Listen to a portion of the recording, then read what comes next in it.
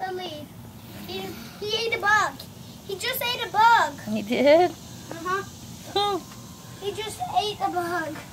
it's the biggest one I've ever seen.